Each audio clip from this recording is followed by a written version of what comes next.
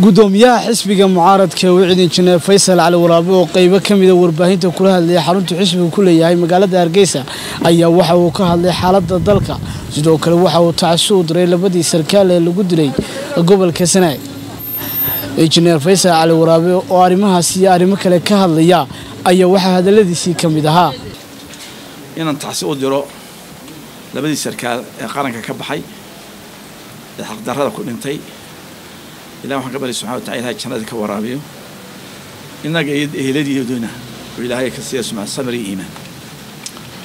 Waxaa kalean soo dhaweynaya hambalyaynaya rabadaantun caawa sugina insha allahu tacaala waxaan leenahay dadka reer somaliland iyo dadka muslimkaba ilaahay subxana watacala inooga dhiga rabadaan khayr qabta oo salaadiin iyo ajir iyo soonkeelo inaga aqbalo. Ilaahay roobna inoo keeno subxaana wa tacaala siduu sharcigan sheegaya beelihii wada deganaa lixdankii iyo wixii ka horeeyey ayaa somaliland leh. Waa kuwaas waxaynu u baahanay laakiin marka cadaalad baa loo baahan yahay. Laakiin in beela beela loo ordo beela beela loo ordi maayo. Qof kastoo somaliland waa inuu xaq midad yeeshaa tacliinta xaq u yeeshaa biyaha xaq yeeshaa dheefta u yeeshaa markaa dadkan la wareegaya gobolaysiga iyo la wareegayo magaranaysa beelaha iyo danteena ma wada. Dan reer buu wada qofka madaxda ayaa dan reer ka rara dee dan umadeed ma rabo.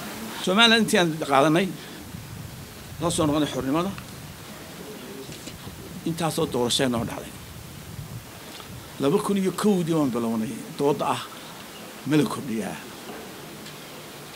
Loo kordhis la'aan sharci kordhis sheegaya ma jiro. Adduunka waxa weeye terms buu leeyahay hay'ad kastaba shan sano madaxweynaha shan sano baarlamaanka goortida lix sanaa la yidhi maalinta waktiga uu dhammaado dowladda hoose shan sano waynu ka dhammaadaa weeye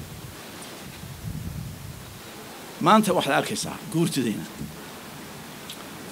adduunka ma jirto aqal aan la dooran oo haddana la yidhaaho waa ka u sarreeya waddanka adduunka ummadda u sarreeya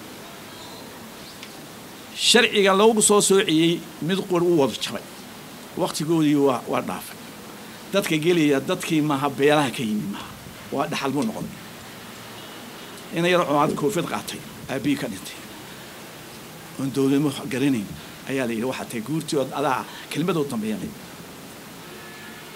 waxaa loo sameeyey waxaana inay balance gareeyaan executive-ka iyo baarlamaanka iyo guurtidu baarlamaankeena eega maanta yaa gacanta ku haya oo ugu actifsan waxaa gacanta ku haya nin aan la soo dooran la soo xambaaray. Baashie lama soo dooran nin aan la soo dooranin sideebuu qof la soo doortay? U jeergarayn karaa.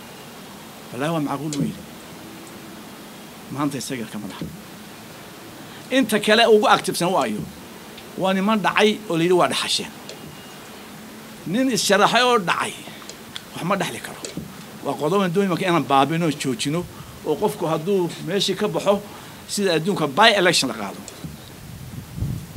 Yacni systemkii dowladnimo dhan baynu ku ciyaarnay. Dadka maanta u qaylada badan ee doonaya inay doorasha dhicina waxay ka soo jeedaan dadkaa aan la dooran ee dhexal ku yimi iyo dadkaa isxambaarka ku yimi.